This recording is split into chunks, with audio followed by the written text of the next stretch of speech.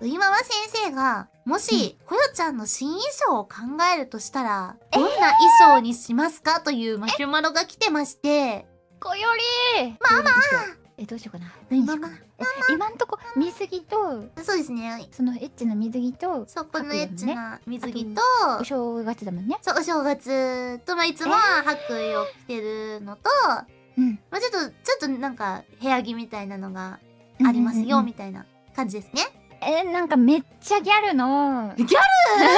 めっちゃギャルの。うん。ルーズソックス履いた。JK え見たい。見たい。見たい。見たい見たい JK みたい。ももこ先生。ももこ先生。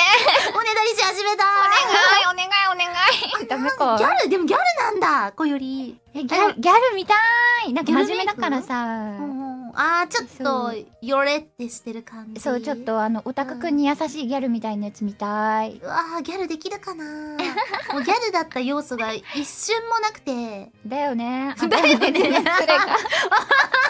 失礼か すべてを知ってるかのような。え、でも、ウイママ先生もなさそう。はいえマジありえないんだけどえちょびりば 慣れてない。ちょっと待って、昭和。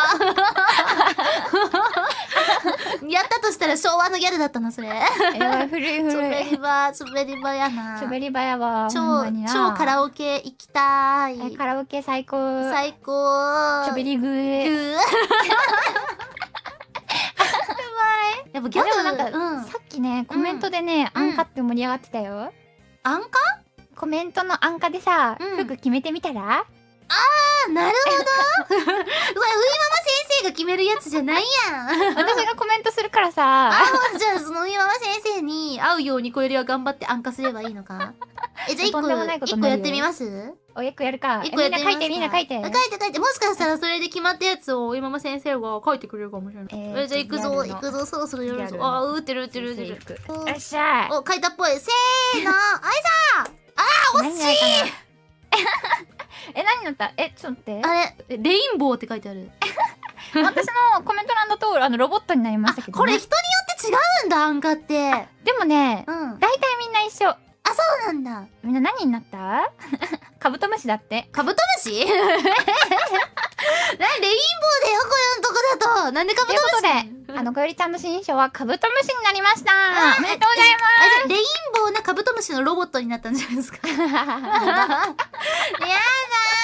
ーギャルの制服がいい。止まってま。あ移動しますか。